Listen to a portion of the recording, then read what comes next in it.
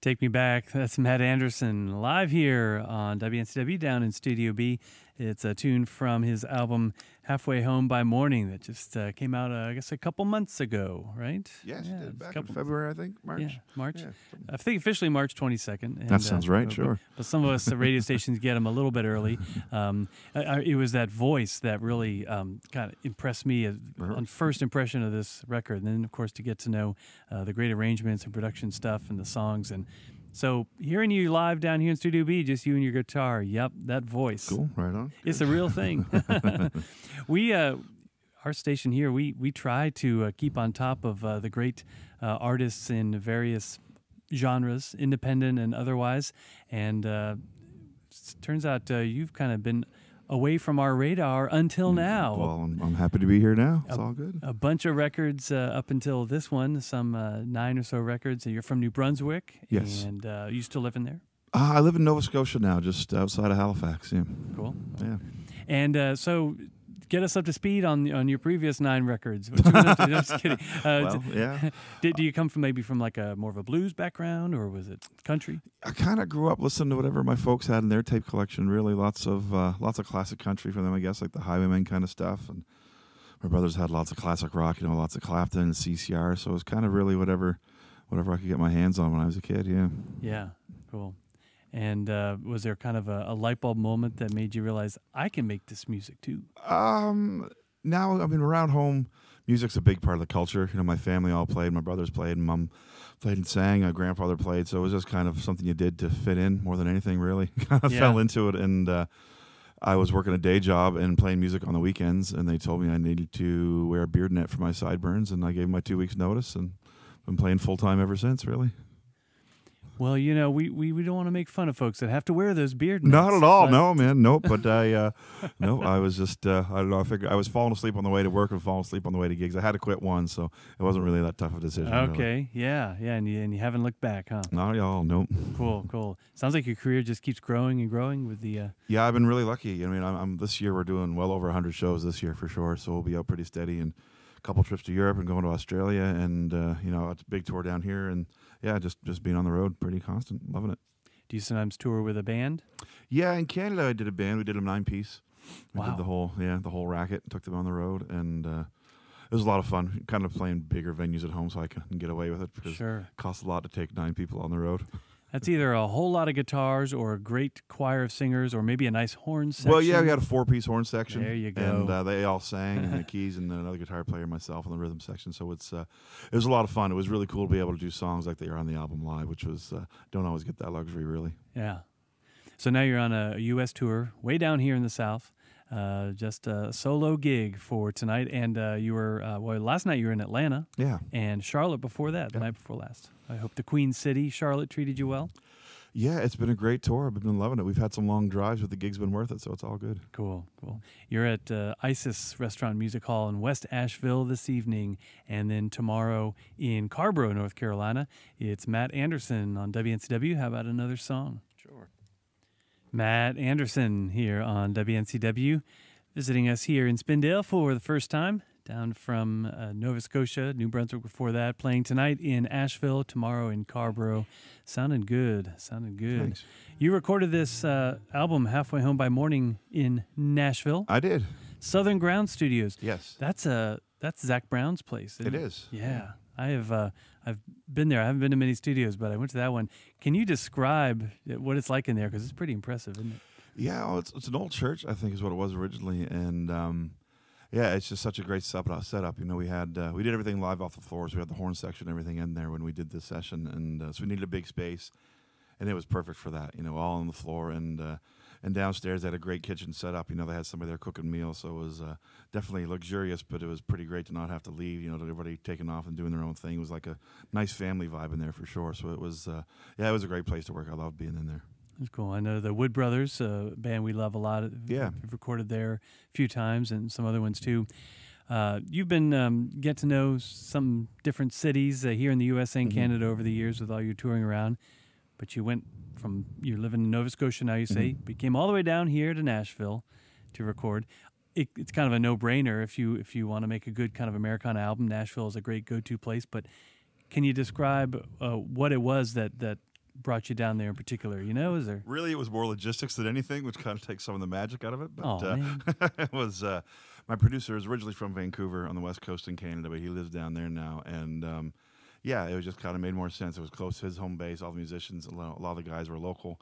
Actually, for the most part, just the horn section was really local guys, and everybody else we kind of brought in from different places. But uh, yeah, I mean, and Nashville's definitely got a vibe. You know, even aside from that stuff, you know, being uh, in Music City, you know, when that kind of thing's going on was was uh, pretty great to kind of step out and know there's music going on around the whole time. And and if you needed a musician, you just had to look in the phone book and drop your finger. You'd probably find somebody. Yeah, cool. So you were able to do that. It wasn't just you know hole yourself up in the studio. You got to go out and soak in some of the yeah, vibe. I've been I've been down to Nashville a few times, and uh, so when it comes time to recording, though, I pretty much just locked in for four days, and that was our uh, our thing. But I uh, had a couple days off after that. We got to kind of chill out. We were down there for Fourth of July, which was just insane. Yeah, yeah. yeah, Yeah, it we- was uh, we- more fireworks than I've ever seen. yeah, sure. yeah, right on. Uh, who's your producer that you mentioned? Uh, Steve Dawson. Heard of him? Yeah, yeah, he's worked on lots of great Roots stuff, and um, we've kind of been in the same circles for years, but never really have hooked up all that much. You know, a couple of festivals together, but uh, when we were deciding, you know, who we wanted to work with, I've just listened to some of his earlier stuff that he's worked on, and just great. You know, and, and for recording live off the floor, not everybody. Not every producer is up for that, but Steve definitely was. That's his wheelhouse for sure. You know, just getting great musicians in a room and pushing the buttons, and that was it was great. Loved it. Was that his idea or your idea? To Um, mine. I wanted to make an album like that, Yeah. and uh, that's why we went towards Steve too, because I know he would be he would be up for that. And that was a, a stipulation for me you know, with the producers. I wanted to be able to do it live off the floor like that. you were ready to fire him if he said no. well, before I before I hired him, I guess we had that discussion. A good idea. All right. See, see, we, we always like the folks to learn, you know, from the professionals Exactly, yeah. how to do it, and Yeah. there you go, plan in advance, stuff like that. Uh, Matt Andersen uh, here. Uh, you've you've gotten a bunch of awards and, and Juno nominations. It's great. Some of them are some cool blues awards. Yeah. Got a favorite blues artist or two that just really Oh, totally. man. Um, Sonny Terry and Brownie McGhee were somebody I kind of latched onto when I kind of dug into them. Um, I'm always kind of drawn more, I guess, to the folk side of stuff a little bit. But uh, that said, Roy Buchanan's one of my favorite guitar players. I love listening to that. Just Telly, just kind of rip your head off is always fantastic. Uh huh. Cool. Uh, and I know, uh, well, I kind of get the sense that you've spent a little time around Memphis, maybe just from, you know, the awards show there and Mhm. stuff. You're playing there. Um, a lot of times it's either Chicago blues or Mississippi blues, but right. maybe you've uh, you've been drawn to some of the Piedmont blues from here in the Carolinas. Yeah, that's I kind of I was when I you know when I started playing solo. That's kind of a lot of the stuff I started listening to to kind of figure out how to uh, make as much sound with one guitar as I could, and that was uh, that's where I went to was listening to that kind of stuff. Cool. Yeah. Well, let's hear another tune or two from Matt Andersen here this afternoon. Live music here in Studio B from Matt Andersen this afternoon. Tell me about that song. Where'd that come from? That is um, a song called "Coal Mining Blues," and uh, in Nova Scotia, there's an island called Cape Breton. Actually, in a few spots in Nova Scotia as well on the mainland. Um, coal mining is a big part of the life there, and it's uh, used to be anyway. And it's a job we have a lot of respect for the guys who did that work. And um, yeah, just the, the inspiration for that tune. You know, those guys went down the mines and didn't worry about themselves; just did what they had to do to take care of their families. And uh, yeah, they, a lot of the people in that area still hold on to those values for sure. They just do what you got to do to get the job done, kind of thing. Uh huh. Yeah. Uh-huh. Is uh is the mining industry still pretty strong there? No, mining dried up uh, quite a few years ago, really. Okay. But uh, the mentality of you know that that whole uh, idea of you know doing what you have to do to get by was uh, is definitely still there. Yeah. Uh, I s- get the sense that you uh, do maybe a little more traveling to Europe to perform than, than a lot of us uh, American artists, uh, independent artists. I think you have maybe a little more of a support network there to do so, or maybe it's just it's just more of a go-to thing. Uh, Um, yeah, for us, I mean, it's um, there are a lot of Canadians that go over for sure. I mean, they love uh, you know Americana like roots music over there, and it's uh, I think it's. Um, I don't know. It's worth the trip now. I guess Oh, when you get over there Yeah. for sure. Yeah. So, Yeah. and it's also it's just uh, for us, uh, you know, on where I live in Halifax. You know, it's a five six hour flight, and you're there, so it's almost quicker to get there than it is to the West Coast. So, that's true. Yeah. You're right. It's just skip over the pond there, Pretty the much, Atlantic yeah. pond, and there you are. yeah. Hey, you've picked up a couple of international blues uh, awards. Yeah, I've been there. touring over there That's quite cool. a bit, and I guess they've liked it. And uh, and and I, I brought it up because of that that mining song. Have you played in Wales? Mm-hmm. Big Yeah, need to. yeah. I mean, that the coal mining tune. I mean, it's um, it, it's popped up a lot of places I've traveled all over the world. If not coal, at least there's some kind of mining that seems to be, you know, inherent in a lot of uh, a lot of communities for sure. hmm Uh, anyone in your family from that tradition too, the coal mining? Uh, nope, no, no mining around where I live so much. Lots of logging. Right. oh, yeah. right. New Yeah. Brunswick, different. Yeah. Lots of trees. You mentioned uh, your parents and, and grandpa and all Mhm. others play music. What, what kind of music did your grandfather do?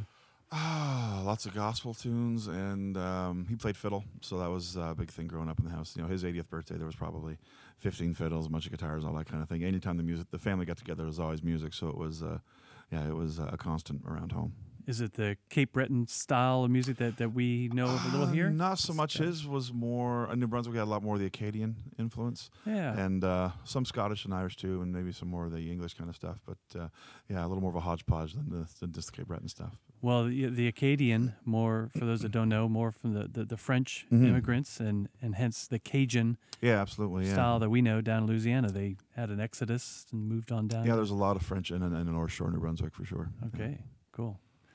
Well, it's been uh, great getting to know you, Matt, and your fine music. Playing tonight at the ISIS Music Hall in Asheville, and then tomorrow in Carrboro. And let's hear one more song. Okay. Absolutely.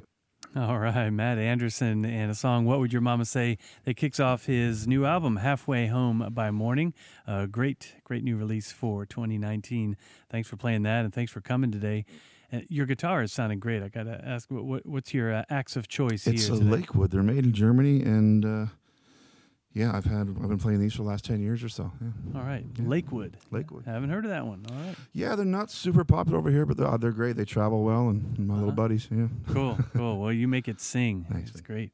Matt Andersen uh, again playing tonight in Asheville at the ISIS Restaurant and Music Hall. Thanks for coming in. Uh, live Studio B sessions on WNCW brought to you by Sierra Nevada Brewing Company.